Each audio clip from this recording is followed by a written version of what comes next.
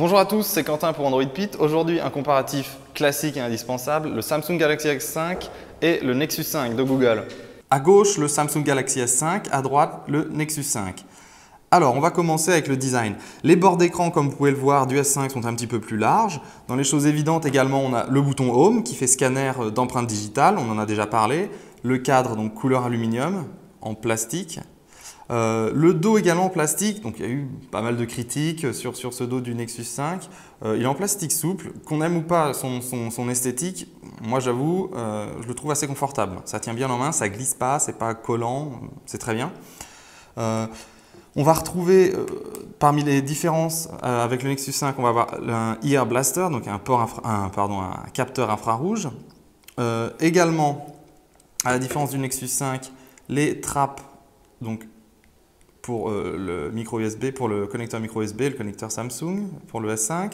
Donc ça c'est parce qu'il est waterproof, IP67, pas comme le Nexus 5.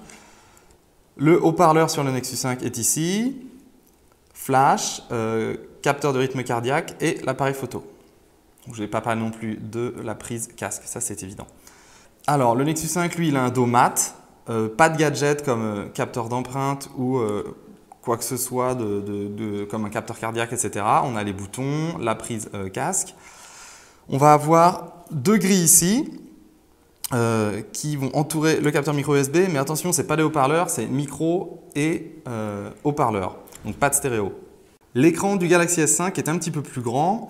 Euh, c'est un Super AMOLED, donc il a un contraste et une saturation euh, plus prononcé que le Nexus 5 qui a une dalle IPS LCD. Là, j'ai mis un fond d'écran un peu, un peu vif, disons, sur le, bien flashy sur le Nexus 5 et malgré tout, je pense que vous pouvez le voir à la caméra, euh, c'est beaucoup plus saturé et beaucoup plus flashy sur le S5. C'est une question de goût, mais pour la lecture notamment, l'écran du Galaxy S5 est un peu mieux, notamment en plein soleil évidemment. Euh, il est un petit peu plus précis, on a l'impression, même si la, définition est la même, même la, résolution, donc la densité de pixels pour le, Nexus 5 est plus élevée de très peu. Personnellement, je préfère l'écran du Galaxy S5, sachant que l'écran du Nexus 5 est très très très bon également. En ce qui concerne le système, on a là Android L sur le Nexus 5 et TouchWiz basé sur Android 4.4.2 sur le Samsung Galaxy S5. Alors, on va commencer avec les notifications, un point important. Comme vous pouvez le voir, dans Android L, qui est quand même Android pur, on va avoir un petit peu plus d'accès, euh, on va dire, rapide aux éléments essentiels comme le Wi-Fi, Bluetooth, euh, euh, la rotation automatique de l'écran, localisation, le mode avion, etc. Juste ici. Donc, ce n'est pas modifiable, pour l'instant en tout cas. Et il y a moins que chez Samsung où on peut faire défiler à peu près tout ce qu'on veut en fait au niveau Quick Setting. On a accès à S-Finder, connexion rapide. Et si on va chercher les Quick Settings, là, on fait ce qu'on veut, on peut les modifier. Et euh, il y, en a beaucoup en tout cas. Reste qu'avec le Nexus 5, on peut accéder donc, euh, aux euh, paramètres, donc les nouveaux paramètres d'Android L. Pour l'instant, le changement est visuel hein, principalement. Il n'y a pas, y a, pas d'application supplémentaire, ça reste de l'Android pur. Pour parler des applications supplémentaires, euh, en tout cas disons des fonctionnalités, pardon, on va aller dans les paramètres du Samsung. Alors ce sont les nouveaux paramètres TouchWiz, on les connaît beaucoup euh, grâce à ce type de, type d'image en fait, avec les, nouvelles icônes plates et rondes. Bon, moi j'aime pas. C'est une question de goût, mais le code couleur je ne comprends pas trop. Il y a du bleu, du vert, du jaune, voilà, c'est pas forcément logique. Fond d'écran, utilisation des données, je sais pas pourquoi ils sont de la même couleur. Est-ce qu'il y a un code, est-ce qu'il n'y en a pas? Je suis vite retourné moi sur le mode liste euh, traditionnel d'Android, disons. Il y a beaucoup, beaucoup plus de paramètres. On va avoir certaines choses plus ou moins pertinentes, des gadgets, bon, les gestes, euh, certaines personnes les utilisent. Je pense que globalement, ce n'est pas euh, une fonctionnalité majeure sur Samsung, ce n'est pas ça qui va les refaire vendre des téléphones. Par contre, sur le S5, on a le Download Booster. Alors, c'est le, le booster de téléchargement, en fait, tout simplement, qui lui va utiliser la connexion 4G et le Wi-Fi pour accélérer les téléchargements de gros fichiers. C'est plutôt pas mal. Le mode économie d'énergie, on en a déjà parlé également, le mode ultra économie d'énergie qui permet de rester jusqu'à 5 euh, heures, il me semble, avec 5% de jusqu'à 24 heures pardon, avec 15% ou 10% de batterie en fait. Donc c'est assez, euh, ça marche plutôt pas mal et on se retrouve avec un téléphone, hop, je vais vous montrer, en noir et blanc, avec quasiment plus aucune fonctionnalité de smartphone, c'est vraiment un téléphone. Pour terminer avec le système, euh, on va dire que les deux sont fluides. Bon, si je vais vraiment pinailler, je ne sais pas si vous le voyez ici, notamment dans le tiroir d'application, c'est un tout petit peu plus fluide sur le Nexus 5.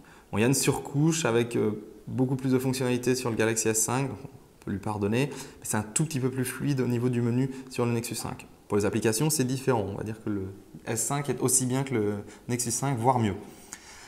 Pour euh, l'écran principal, alors on a Google Now, si on, va, euh, si on glisse vers la gauche sur le Nexus 5, on va avoir My Magazine sur euh, le, Samsung Galaxy S5, pardon, qui est le flux RSS maison en fait, de la marque, où on peut aller chercher les, on peut décider ce qui va être affiché, on peut aller chercher pardon, actualité, etc., du très classique.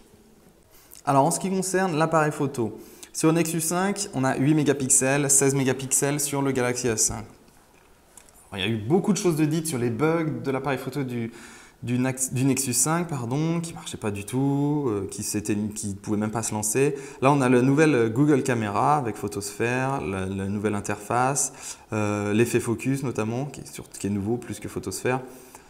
Bon, ça existe euh, sur le Galaxy S5 et en fait, à vrai dire, euh, le Galaxy S5 va avoir beaucoup plus de fonctionnalités. Donc, vous en avez déjà parlé, je vous invite à jeter un œil à la vidéo. Là, c'est juste une partie des, modes, des fonctionnalités disponibles. On peut en télécharger beaucoup plus en fait. C'est moins fouillis que sur le S4, qui était vraiment, euh, il y en avait presque beaucoup trop. Hein. sur, Nexus 5, sur le S5, pardon, ça va être plus simple à utiliser et on choisit ce qu'on veut. Alors, au niveau de la qualité, en fait, je vous ai dit 8 mégapixels, le double pour la 5, 16. Quand on est en pleine lumière, dans des très bonnes, très bonnes conditions, ça va, ça va se valoir, en fait, à vrai dire. Le truc, c'est que quand c'est un petit peu plus sombre, là, on va vraiment sentir que le Nexus 5 est en dessous. Il, s'est beaucoup amélioré par rapport au début, notamment grâce aux corrections de, bugs et aux mises à jour. Mais euh, au niveau du... Ah, Tiens, parfait. Un petit bug juste ici, je vous l'ai montré. J'ai juste fait l'autofocus. Il est censé me dire que ça ne fonctionne pas. L'effet focus, pardon, et en fait, ça a simplement euh, quitté. Voilà, ça ne marche pas. Bon. Un exemple de bug. Euh, je vous invite en tout cas à acheter un œil à nos tests donc pour le Nexus 5 et le test de l'appareil photo pour le Galaxy S5. Autre détail en faveur du Galaxy S5, la batterie amovible et le slot micro SD. Alors, la batterie amovible de 2800 mAh contre 2300 pour le Nexus 5, qui est presque amovible, mais pas tout à fait. C'est quand même, faut quand même euh, arracher la plaque arrière. C'est plus compliqué, on va dire. C'est un gros avantage pour le Galaxy S5 si vous euh, prévoyez de garder le smartphone pendant un moment. souvent, c'est la batterie qu'on va changer, après plusieurs années au moins. Ce dont je ne vous ai pas parlé dans cette vidéo, c'est le prix, qui est un élément qui va beaucoup les différencier. Le S5 aux alentours de 500-600 euros, on a le Nexus 5 à 349 euros, c'est quand même une belle différence. Au niveau des performances, les deux se valent honnêtement. Le S5 est sur le papier un tout petit peu plus performant peut-être, son écran notamment. Bon, reste qu'à l'utilisation, c'est identique. La question à se poser pour choisir, c'est est-ce que vous voulez TouchWiz avec tous les gadgets, toutes les options et aussi le prestige, on va dire, d'avoir le fleuron Samsung du moment ou le smartphone Google avec peu d'options, peu de gadgets qui fonctionnent sur Android pur. Suivez-nous sur notre chaîne YouTube, Facebook, Twitter. Salut